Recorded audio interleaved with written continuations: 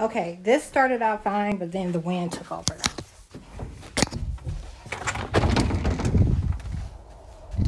I mean, the dressers, they're still not that, that bad. So I'll probably have to do this one. Or, let me move it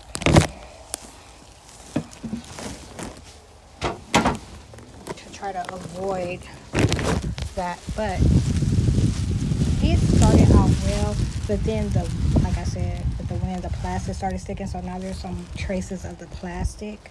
Um, I'll probably have to go over it again